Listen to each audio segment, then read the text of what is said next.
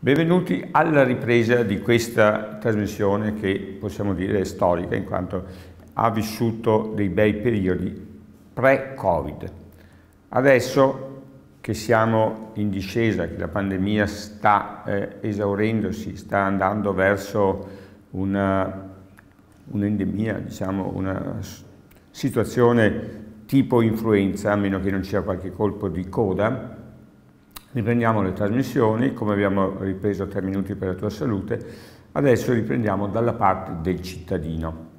Da parte del cittadino, se voi vi ricordate, avevamo sempre ospiti eh, gli avvocati dello studio eh, Pavanetto e anche oggi abbiamo qui un, un ospite dello studio Pavanetto che conosciamo eh, bene, ecco, l'avvocato Federico Trevisiol, mi, mi autoproclamo. Alla fine della pandemia però eh, ci sono dei problemi e abbiamo avuto diverse segnalazioni di questo problema eh, che portiamo alla loro attenzione.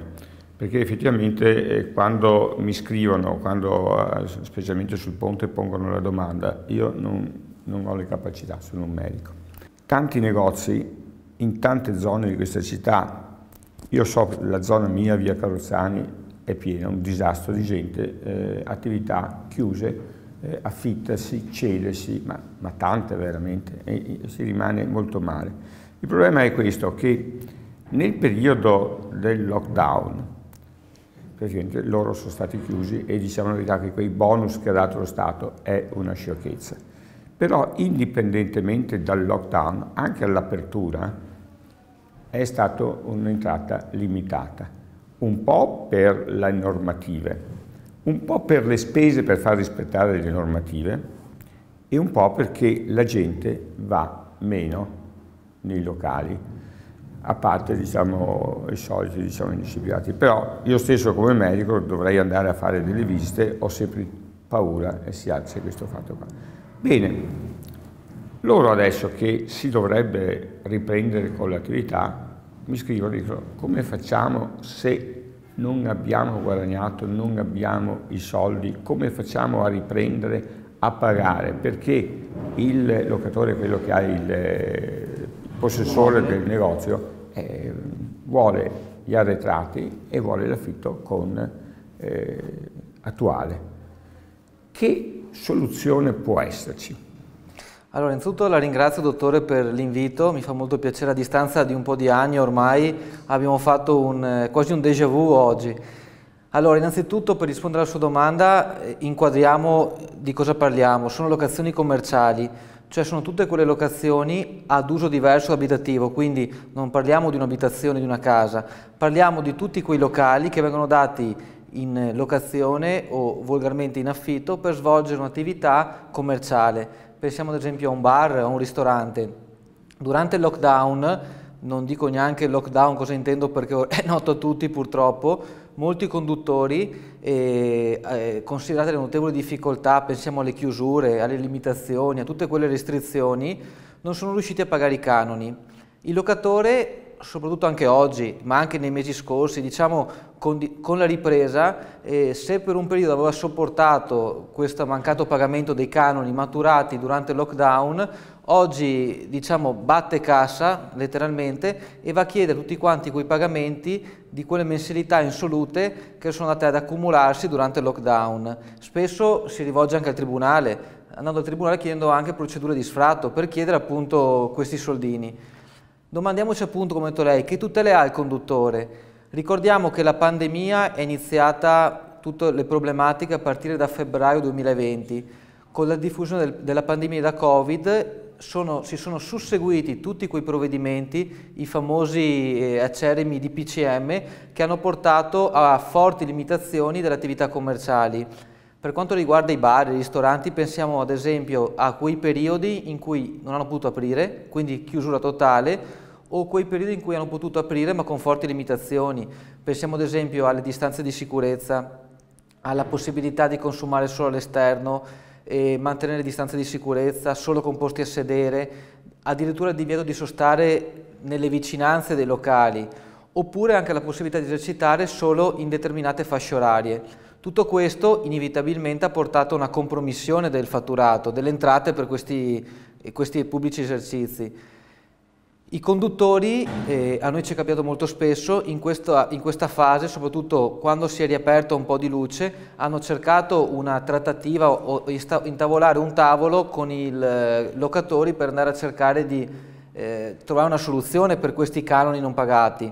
Spesso abbiamo visto anche noi che i locatori si sono limitati a non accettare o addirittura hanno rispedito al mittente ogni tentativo di cercare una soluzione condivisa. I conduttori, bisogna dire, hanno uno strumento molto importante in questi casi, soprattutto di fronte al totale diniego da parte del locatore. E l'insegnamento ci arriva dalla Corte di Cassazione eh, direttamente, che attraverso il proprio ufficio del massimario del ruolo, attraverso un'importante relazione, ha esaminato le conseguenze dello shock economico derivato dalla pandemia e dal lockdown sui rapporti contrattuali, andando a, eh, diciamo, a imprimere il proprio ragionamento sul criterio della buona fede eh, durante l'esecuzione del contratto, con un conseguente obbligo da parte del locatore di eh, rinegoziare per adattare il contratto alle intervenute circostanze sopravvenute. Pensiamo ad esempio alle prestazioni temporaneamente impossibili o alle prestazioni eccessivamente onerose e tutto questo per andare a preservare il rapporto economico che è sotteso al contratto di locazione.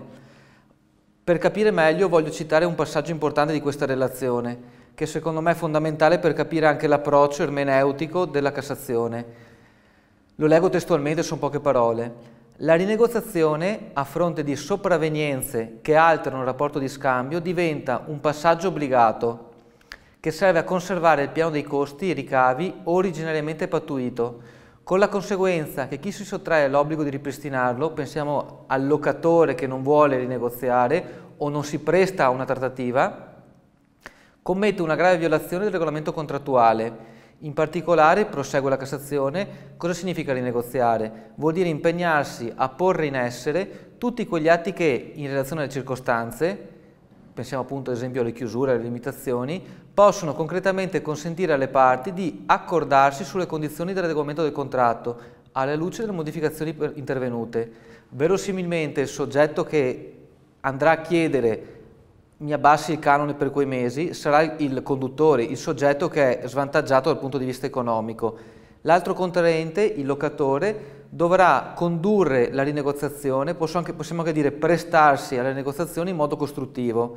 Quindi il locatore in questo caso sarà adempiente se promuove una trattativa, lui stesso, molto difficile, o se raccoglie positivamente l'invito che gli è rivolto al conduttore per andare a sedersi al tavolo e a discutere i termini economici di quei mesi soggetti al lockdown. Sarà quindi inadempiente il locatore se o non si presta a una trattativa oppure anche se si siede al tavolo con trattative di mera facciata, cioè con proposte irricevibili le chiamiamo noi. In questi casi il conduttore ha un importante strumento perché il locatore potrebbe anche essere eh, destinatario di una sentenza eh, si dice per esecuzione in forma specifica. È una sorta di istituto che è regolato da un articolo del codice civile, l'articolo 2932, che consente di ottenere una sentenza che produca gli effetti del contratto non concluso.